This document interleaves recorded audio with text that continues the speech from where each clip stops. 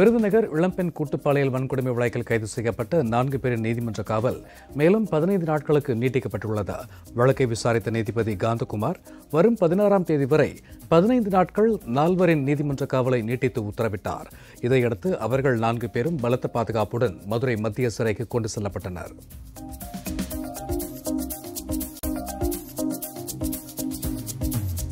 கொரோனாவால் ரத்து செய்யப்பட்ட பத்தாம் வகுப்பு தேர்வுக்கு மதிப்பெண் சான்று வழங்க கோரி தொடரப்பட்ட வழக்கை சென்னை உயர்நீதிமன்றம் தள்ளுபடி செய்ததா? தமிழக அரசு மட்டுமின்றி பல மாநிலங்கள் தேர்வு நடத்தாமல் மதிப்பெண்கள் வழங்காமல் தேர்ச்சி சான்றிதழ் வழங்கியிருப்பதாகவும் அரசின் கொள்கை முடிவில் எந்த சட்டவிரோதமும் இல்லை எனவும் சுட்டிக்காட்டியது.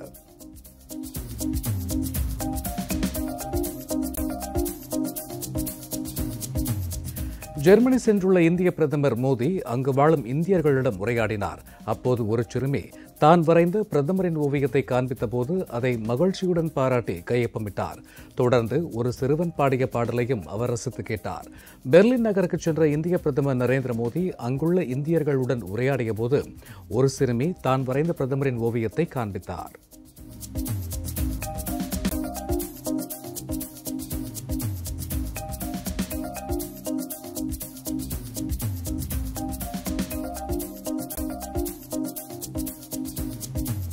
அரசுமுறை பயணமாக ஜெர்மன் சென்றுள்ள பிரதமர் மோடிக்கு பெர்லின் நகரில் ராணுவ மரியாதையுடன் வரவேற்பு அளிக்கப்பட்டது. ஜெர்மன் தலைநகர் பெர்லின் சென்றடைந்த பிரதமர் மோடிக்கு சிவப்பு கம்பள வரவேற்பு வழங்கப்பட்டது.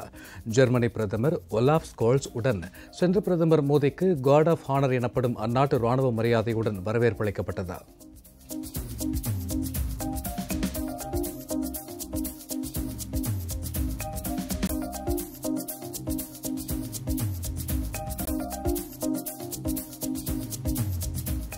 ஜெர்மனி சென்ற பிரதமர் திரு நரேந்திர மோடி அந்நாட்டு அதிபர் ஒலிப் ஸ்கோல்ஸை சந்தித்த பல்வேறு விவகாரங்கள் குறித்து ஆலோசித்தார். இந்த சந்திப்பின் போது இருநாட்டு உறவை வலுப்படுத்துதல் வர்த்தகம் பாதுகாப்பு ஒத்துழைப்பு உள்ளிட்ட பல்வேறு விவகாரங்கள் குறித்து இரு நாட்டு தலைவர்களும் ஆலோசனை நடத்தினர். இந்த கூட்டத்தில் மத்திய அமைச்சர்களான திருமதி நிர்மலா சீதாராமன் திரு ஜெய்சங்கர் மற்றும் ஜெர்மனி அமைச்சர்களும் பங்கேற்றனர்.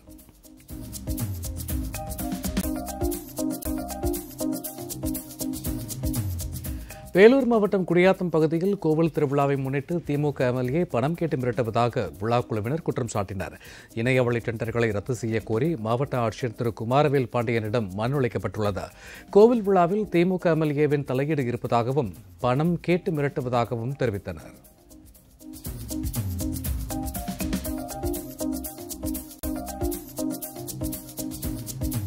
நூல் விலையேற்றத்தை கண்டித்து திருப்பூரில் ஆறு நாட்கள் வேலைநிறுத்தம் அறிவிக்கப்பட்டுள்ளது பஞ்சு மற்றும் நூல் பதுக்களை தடுக்க அரசு நடவடிக்கை எடுக்க வேண்டும் என்று உற்பத்தியாளர்கள் தெரிவித்தனர். பருத்தியை அத்தியாவசிய பொருட்கள் பட்டியலில் கொண்டு வர வேண்டும் என்றும் கேட்டுக் கொள்ளப்பட்டது.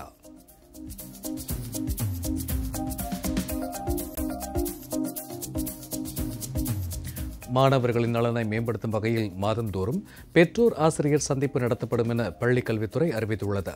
செயல்வழி கற்றல் போதை பழக்கங்களுக்கு அடிமையாவதை தடுக்க போதிய விழிப்புணர்வு விளையாட்டு பயிற்சிகள் கணினி சார்ந்த பயிற்சிகள் உள்ளிட்டவையும் வழங்கப்படும் என்று குறிப்பிடப்பட்டுள்ளது.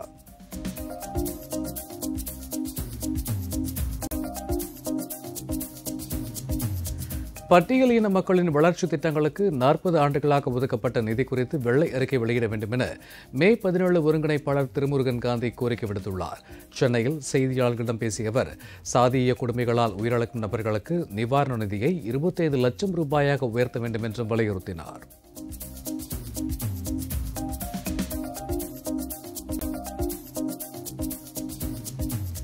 மாற்றுத்திறனாளி வீரர்களுக்கு உதவித்தொகை அரசு வேலைவாய்ப்பு வழங்க வேண்டும் என கோரிக்கை எழுந்துள்ளது.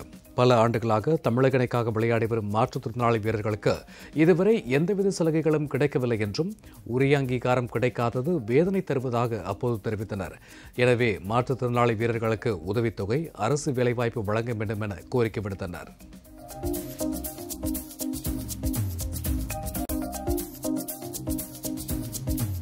மாங்காய்களை ரசாயனம் வைத்து பழுக்க வைப்பதற்கு அரசு முறையான வழிகாட்டு நெறிமுறைகளை வெளியிட வேண்டும் என கோயம்பேடு வியாபாரிகள் சங்கங்களின் கூட்டமைப்பினர் கேட்டுக்கொண்டனர். சென்னை சேப்பாக்கத்தில் உள்ள பத்திரிகையாளர் மன்றத்தில் கோயம்பேடு வியாபாரிகள் சங்கங்களின் கூட்டமைப்பு சார்பில் செய்தியாளர் சந்திப்பு நடைபெற்றதா.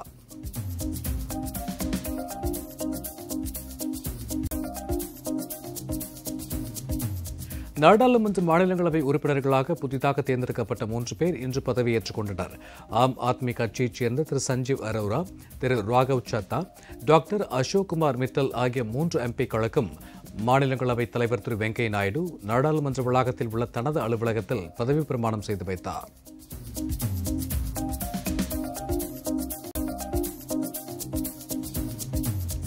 ரஷ்யா உக்ரைன் விவகாரத்தில் இந்தியாவின் நிலைப்பாட்டை ஐரோப்பிய சுற்றுப்பயணம் மேற்கொண்டுள்ள திரு மோடி அந்நாடுகளிடம் தெளிவுபடுத்த வேண்டும் என காங்கிரஸ் எம்பி திரு சசிதரூர் வலியுறுத்தியுள்ளார்.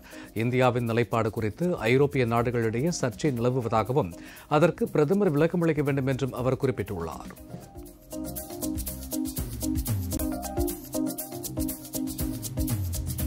உத்தரப்பிரதேசத்தில் நாளை இஸ்லாமிய பெருமக்கள் புனித ரமலான் பண்டிகையும் இந்துக்கள் பரசுராம் ஜெயந்தி விழாவும் கொண்டாட இருப்பதால் பிரச்சினைகள் ஏதுமின்றி நல்லிணக்கத்துடன் கொண்டாட வேண்டும் என அம்மாநில அரசு கேட்டுக்கொண்டுள்ளது. இதற்காக மத தலைவர்களின் கூட்டத்திற்கும் ஏற்பாடு செய்துள்ளது.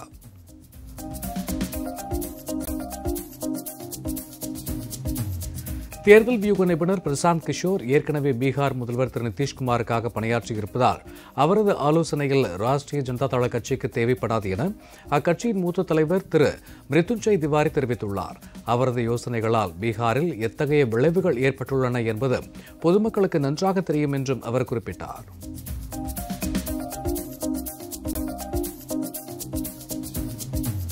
மத்திய பிரதேசத்தில் வன்முறை கலவரத்தால் பாதிக்கப்பட்ட கார்கோன் பகுதியில் இன்று காலையிலிருந்து மாலை வரை ஊரடங்கு தளர்த்தப்பட்டது. அசம்பாவிதம் நிகழாமல் தடுக்க மேலும் ஏராளமான போலீசார் குவிக்கப்பட்டனர். ட்ரோன்கள் மூலம் அனைத்து பகுதிகளும் தீவிரமாக கண்காணிக்கப்படுகின்றன.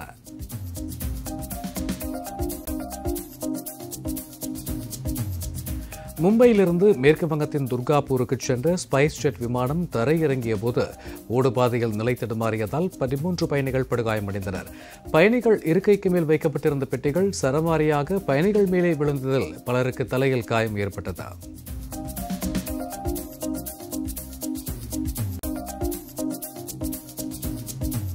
டெல்லி முதல்வரும் ஆம் ஆத்மி தலைவருமான திரு அரவிந்த் கெஜ்ரிவால் வரும் பதினைந்தாம் தேதி கேரளா செல்கிறார். கீழக்கம்பலம் பகுதியில் டுவெண்டி டுவெண்டி என்ற அமைப்பு ஏற்பாடு செய்துள்ள பொதுக்கூட்டத்தில் அவர் பங்கேற்கிறார். திரிகக்கரா சட்டமன்ற தொகுதி இடைத்தேர்தலில் இரு கட்சிகளும் இணைந்து வேட்பாளரை நிறுத்தப் போவதாக செய்திகள் வெளியாகியுள்ளன.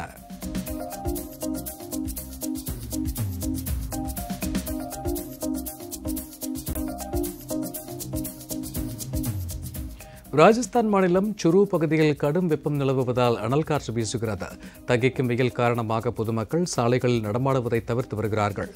அவர்களின் இயல்பு வாழ்க்கை பாதிக்கப்பட்டுள்ளது. டெல்லி பஞ்சாப் ஹரியானா உத்தரப்பிரதேஷ் ஆகிய மாநிலங்களிலும் பல இடங்களில் அனல் காற்று வீசுகிறது.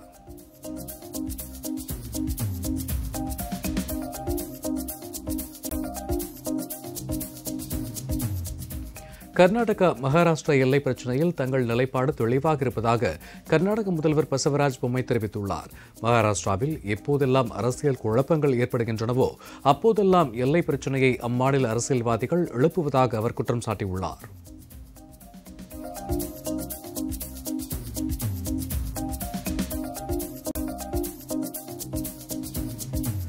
நாட்டில் கொரோனா வைரஸ் தாக்கம் பொருளாதார வீழ்ச்சி உள்பட பல பிரச்சனைகளுக்கு இடையிலும் உள்நாட்டு பாதுகாப்பு நிலைமை கட்டுப்பாட்டில் இருப்பதாக மத்திய உள்துறை அமைச்சகம் தெரிவித்துள்ளது. இரண்டாயிரத்தி இருபது இருபத்தி ஒன்றாம் ஆண்டிற்கான உள்தொகை அமைச்சக ஆய்வறிக்கையில் இது பற்றிய புள்ளி விவர விளக்கங்கள் இடம்பெற்றுள்ளன.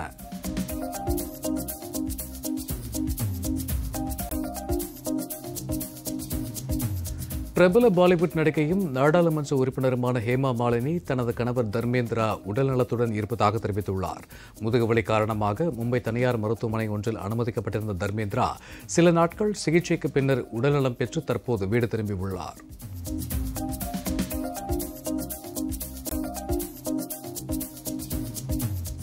சென்னை சூப்பர் கிங்ஸ் அணியின் கேப்டன் பொறுப்பில் இருந்து விலகிய ரவீந்திர ஜடேஜா குறித்து கருத்து தெரிவித்துள்ள தற்போதைய கேப்டன் தோனி எல்லாவற்றையும் ஸ்பூனில் எடுத்து ஊட்ட முடியாது என கூறியுள்ளார். அவர் கேப்டனாக பொறுப்பேற்கும் போது பல முக்கிய தருணங்களில் முக்கிய முடிவெடுக்க வேண்டும் என தான் தெரிவித்ததாகவும் குறிப்பிட்டுள்ளார்.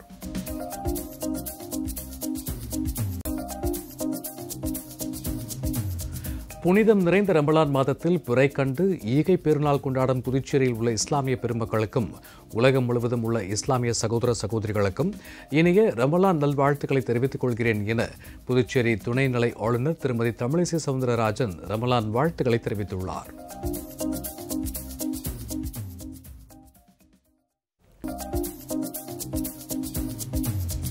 பெரம்பலூர் மாவட்டம் பாடலூர் கிராமத்தில் உயர்மட்ட தண்ணீர் தொட்டி அமைத்து தர வலியுறுத்தி பொதுமக்கள் மாவட்ட ஆட்சியரிடம் மனு அளித்தனர்.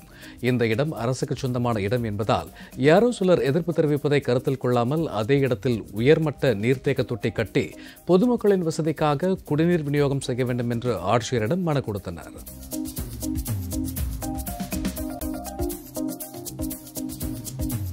கடலூர் மாவட்டம் வடலூர் ஏரியில் மீன்கள் இறந்து துர்நாற்றம் வீசுவதால் பொதுமக்கள் அவதிக்குள்ளாகினர். இதனால் சாலையை கடக்கும் பயணிகள் பெரிதும் சிரமத்திற்கு ஆளாகி வருகின்றனர். இறந்து கிடக்கும் மீன்களை உடனடியாக அப்புறப்படுத்த வேண்டும் என்றும் அப்பகுதி மக்கள் கோரிக்கை வைத்தனர்.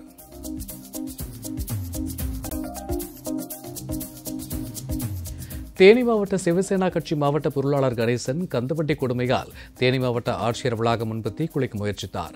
கடனை முழுவதுமாக செலுத்த இயலாததால் ஆட்டோவை தூக்கி சென்றுள்ளனர். இதனால் மனமுடைந்த கணேசன் மாவட்ட ஆட்சித்தலைவர் அலுவலகத்தில் தனது வாழ்வாதாரம் முழுவதுமாக பாதிக்கப்பட்டதாக கூறி தீக்குளிக்க முயன்றார்.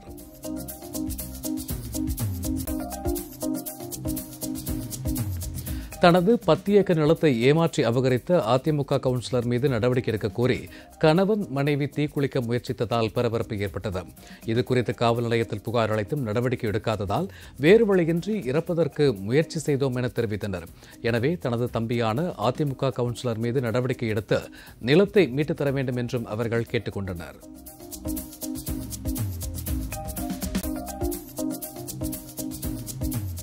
நாகப்பட்டினத்தை அடுத்த சிக்கலில் அமைந்துள்ள சிங்காரவேலவர் ஆலயம் மிகவும் புகழ்பெற்றதாகும். இவ்வாலயத்தில் சித்திரை மாத கார்த்திகை முன்னிட்டு இன்று காலை சிறப்பு யாகம் நடைபெற்றது. அதனைத் தொடர்ந்து வண்ணமலகர்களால் அலங்கரிக்கப்பட்டு சிறப்பு மகாதீபாராதனை அரங்கேறியது. திரளான பக்தர்கள் இந்நிகழ்ச்சியில் பங்கேற்று சுவாமி தரிசனம் செய்தனர்.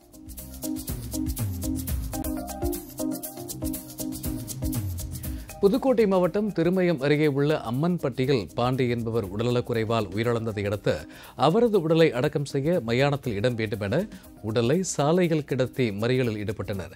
நிகழ்விடத்திற்கு விரைந்த கோட்டாட்சியர் அபிநயா தனிநபருக்கு பட்டா அளிக்கப்பட்ட இடத்தில் போடப்பட்ட முள்வெளியை அகற்றி உடலை அடக்கம் செய்ய நடவடிக்கை எடுத்தார்.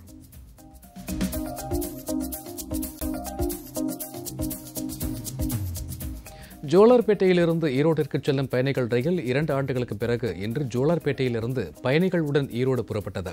இந்த பயணிகள் ரயிலில் பல பயணிகள் வழக்கமாக பல ஆண்டுகளாக தொடர்ந்து தம் பயணத்தை மேற்கொண்டு வந்தனர். அப்பயணிகள் தற்போது மகிழ்ச்சியுடன் நன்றி தெரிவித்தனர்.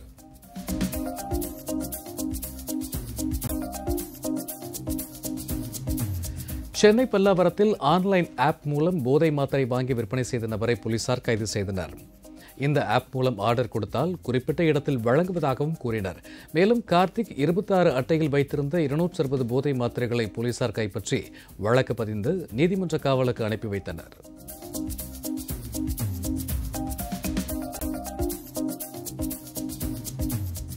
காதலியை அழைத்துச் செல்ல தந்தை இருசக்கர வாகனம் வாங்கித் தராததால் விரக்தியில் இருந்த மகன் தூக்கிட்டு தற்கொலை செய்து கொண்ட நிகழ்வு பெரும் சோகத்தை ஏற்படுத்தியுள்ளது. தந்தை குடும்ப சூழ்நிலையை எடுத்து கூறி பைக் வாங்கித்தர மறுத்ததால் மனமுடைந்த நாகராஜ் வீட்டிலேயே தூக்கு போட்டு இறந்துவிட்டார். இதுகுறித்து போலீசார் வழக்கு பதிந்து விசாரணை மேற்கொண்டு வருகின்றனர்.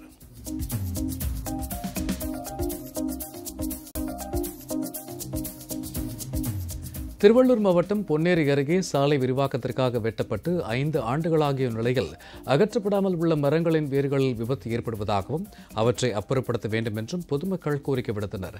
அப்பகுதியை சுற்றியுள்ள அரசு பெண்கள் மேல்நிலைப்பள்ளி மாணவிகள் அவ்வழியே கடந்து செல்லும் போது பெரும் விபத்துகள் ஏற்படுகிறது.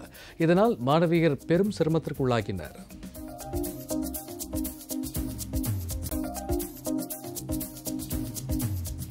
சென்னை அடுத்த மாமல்லபுரத்தில் நடைபெறும் செஸ் ஒலிம்பியாட்டில் இருபது பேர் கொண்ட இந்திய அணிக்கு விஸ்வநாதன் ஆனந்த் ஆலோசகராக நியமிக்கப்பட்டுள்ளார். நாற்பத்தி நான்காவது செஸ் ஒலிம்பியாட் போட்டி மாமல்லபுரத்தில் வரும் ஜூலை இருபத்தி எட்டாம் தேதி தொடங்கி ஆகஸ்ட் பத்தாம் தேதி வரை நடைபெறுகிறது.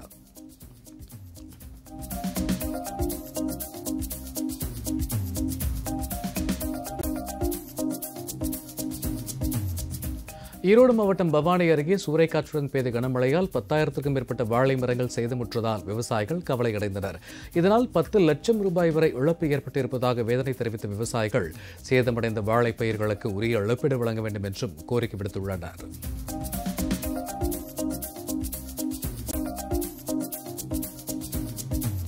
திருச்சி மாநகராட்சி பகுதியில் வனத்துறையால் பறிமுதல் செய்யப்பட்ட எண்ணூறு பச்சை கிளிகள் இன்று வனப்பகுதியில் விடப்பட்டன. வனத்துறை சார்பில் பறிமுதல் செய்யப்பட்டு கண்காணிப்பில் இருந்த எண்ணூறு கிளிகள் இன்று வனத்துறையால் வனப்பகுதிக்கு கொண்டு செல்லப்பட்டு வானில் பறக்க விடப்பட்டது. கிளிகளும் சுதந்திரமாக வானில் சிறகடைத்து மகிழ்ச்சியுடன் பறந்து சென்றன.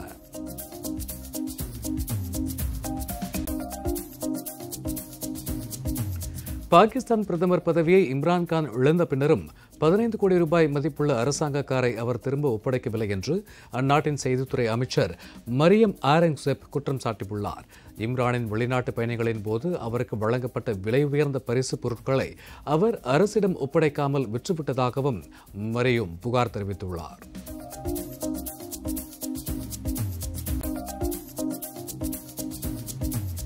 பிரபல ஹாலிவுட் கதாநாயக நடிகர் சில்வர்ஸ்டர் ஸ்டாலோன் நடித்துள்ள டிவி சீரியல் படமான துல்சா கிங் தயாரிப்பு பணிகள் முடிய பெற்றுள்ளன அது பற்றிய புகைப்படங்கள் மற்றும் தகவல்கள் அடங்கிய ஃபர்ஸ்ட் லுக்கை பேரமோன் பிளஸ் நிறுவனம் வெளியிட்டுள்ளது.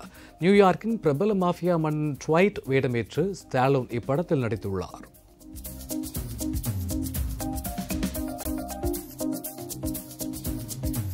சீனாவின் தென்மேற்கு பகுதியில் உள்ள சிச்சுவான் மாகாணத்தில் மேதின விடுமுறையொட்டி பல்வேறு சிறப்பு நிகழ்ச்சிகளுக்கு ஏற்பாடு செய்யப்பட்டுள்ளது.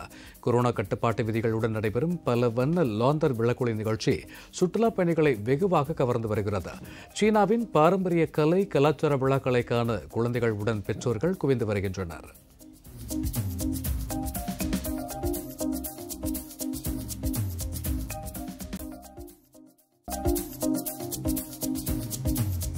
தென்கொரியாவில் கொரோனா வைரஸ் தாக்கம் குறைந்ததை அடுத்து பொது இடங்களில் மக்கள் முகக்கவசம் அணிய தேவையில்லை என்று அறிவிக்கப்பட்டுள்ளது. அச்சம் காரணமாகவும் கூடுதல் பாதுகாப்பை கருத்தில் கொண்டும் சாலையில் செல்வோர் எழுபது விழுக்காடு வரை முகக்கவசங்கள் தொடர்ந்து பயன்படுத்துவதாக தெரிவிக்கின்றனர்.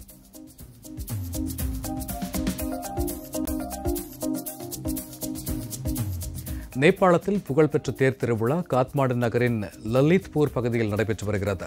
ஆயிரக்கணக்கான மக்கள் ஒன்று கூடி பெருமளவு மழை பெய்ய வேண்டியும் வேளாண் உற்பத்தி சுரக்கவும் பிரார்த்தித்தனர். தீமைகளை ஒழித்து மக்களுக்கு நலன் தரும் விழாவாக இது அமைந்துள்ளது என நேபாள் மக்கள் தெரிவிக்கின்றனர்.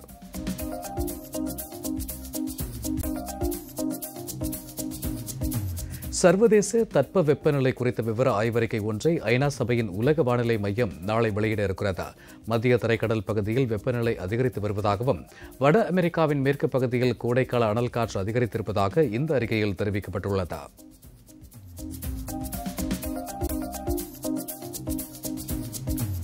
பிலிப்பைன்ஸ் நாட்டில் வரும் ஒன்பதாம் தேதி நடைபெறும் அதிபர் தேர்தலில் பிரபல குத்துச்சண்டை வீரர் மேனி பாக்யூயா போட்டியிடுகிறார். நாற்பத்தி மூன்று வயதான மேனி கடந்த செப்டம்பர் மாதம் இது பற்றிய அறிவிப்பை வெளியிட்டார். பிலிப்பைன்ஸில் ஊழல் வறுமை ஆகியவற்றை ஒழித்து மக்களின் நல்வாழ்விற்கு பாடுபடப் போவதாக அவர் தெரிவித்துள்ளார்.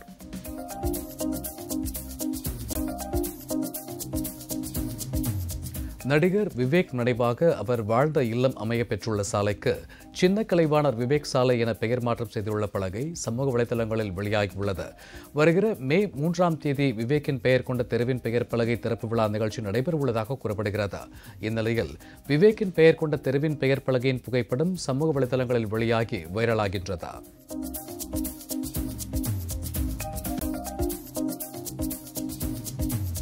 ஒரு மாவட்டம் ஒரு தயாரிப்பு என்ற திட்டத்தின் தூதராக நடிகை கங்கனா ரணாவத்தை யூபி அரசு நியமித்துள்ளது.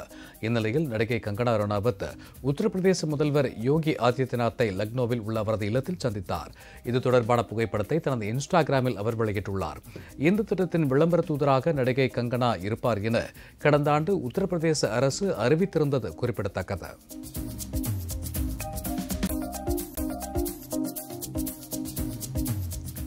கேஜிஎஃப் டூ போல ஒரு திரைப்படம் செய்ய வேண்டும் என பிரபல நடிகர் சிவகார்த்திகேயன் பேசியிருக்கிறார். இது குறித்து பேட்டி ஒன்றில் சிவகார்த்திகேயன் பேசும்போது யஷின் வயது அனுபவம் எல்லாம் தன்னைப் போலவே இருக்கலாம். ஆனால் அவரது வெற்றி பிரம்மாண்டமாக மாறியுள்ளது என்று கூறியிருக்கிறார்.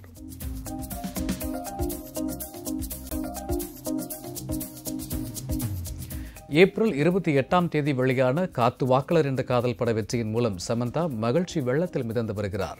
காத்து வாக்களர் என்ற காதல் திரைப்படத்தின் மூலம் ரசிகர்கள் மத்தியில் தமக்கு கிடைக்கப்பெற்ற வரவேற்புக்கு நன்றி கூறும் வகையில் சமந்தா ஒரு வீடியோவையும் வெளியிட்டுள்ளார். அந்த வீடியோவில் சமீபத்தில் வெளியிடப்பட்ட தமது திரைப்படத்திற்கு கிடைத்த வரவேற்பை பார்த்து அவர் எவ்வளவு உற்சாகமாக இருந்தார் என்பதை பார்க்கவும் கேட்கவும் முடிகிறது.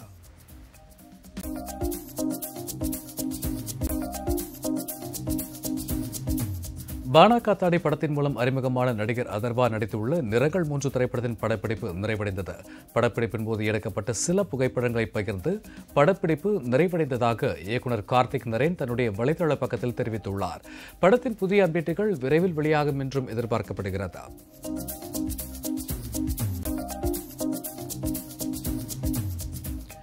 பிகில் படத்தில் நடித்ததன் மூலம் பிரபலமான நடிகை காயத்ரி தனக்கு நிச்சயதார்த்தம் நடைபெற்றிருப்பதாக தனது இன்ஸ்டாகிராம் பக்கத்தில் தெரிவித்துள்ளார்.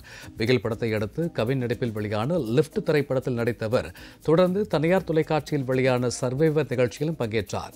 இந்நிலையில் அவர் தற்போது தனக்கு நிச்சயம் ஆகிவிட்டதாக தனது இன்ஸ்டாகிராம் பக்கத்தில் பதிவிட்டுள்ளார்.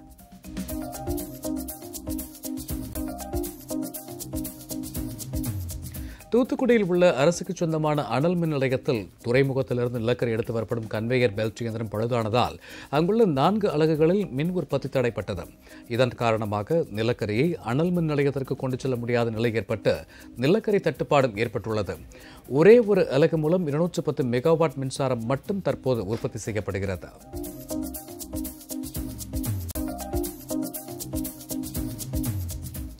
ரமலான் மாதம் நிறைவடைந்ததை அடுத்து தூத்துக்குடியில் நூற்றுக்கணக்கான இஸ்லாமியர்கள் ரம்ஜான் சிறப்பு தொழுகையில் ஈடுபட்டனர் லூர்தம்மாள்புரத்தில் உள்ள மஸ்ஜித் ரஹ்மான் தொழுகை தொடரில் இஸ்லாமியர்கள் ரம்ஜான் சிறப்பு தொழுகையில் ஈடுபட்டனர்.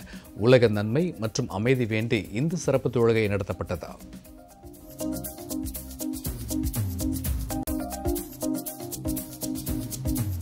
புதுச்சேரியில் ஏஐடியூசி தொழிற்சங்கம் சார்பில் நூற்று முப்பத்தி ஏழாவது மேதின பேரணி நடைபெற்றது. இதில் நூற்றுக்கணக்கான தொழிலாளர்கள் பங்கேற்று பல்வேறு கோரிக்கை முழக்கங்கள் எழுப்பினர். புதுச்சேரியில் உள்ள பழைய பேருந்து நிலையத்திலிருந்து புறப்பட்டு அண்ணா சாலை காமராஜர் சாலை வழியாக பேரணி அவ்வை திடலை சென்றடைந்தது